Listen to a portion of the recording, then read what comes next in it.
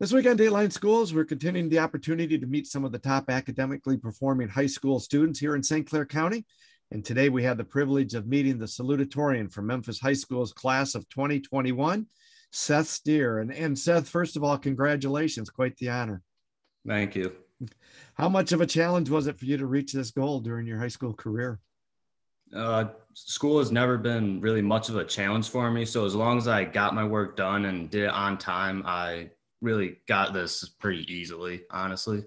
Was uh, becoming salutatorian, valedictorian uh, one of your goals, or is it just something that happened for you? Uh, around my sophomore year, I we checked my standing in the class and we realized I was number one. So since then, I really was I was really planning on getting valedictorian, but then our actual valedictorian ended up doing more than me, and she ended up getting it over me.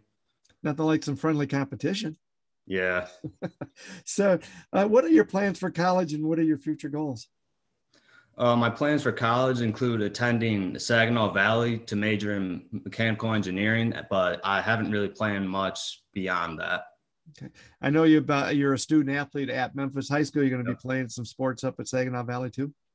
Yep. Uh, I haven't I haven't decided, but maybe like club sports and just stuff around the college I will, but actual varsity sports for the college I I'm not good enough for that. How, how do you juggle though uh, your athletic commitment plus what you needed to do in the classroom?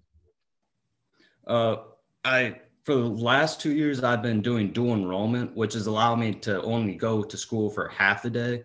So that's allowed me to have like two or three hours extra where I can do work but not have to worry about school or before sports. Good. Well, that's encouraging. As an academic leader for your class, what what advice do you have for your classmates from the class of 21 and then for those other students who are still in high school coming up? So advice I'd have is just to get your work done and just just getting your work done and getting it done on time will just help you a lot through high school and just in getting good grades and passing a lot of classes. And obviously that's uh, some good job skill to have too once you get in the workforce, isn't it? No. Well, Seth, congratulations. Wish you all the best up at Saginaw Valley. Thank you. For Dateline Schools, I'm Terry Harrington.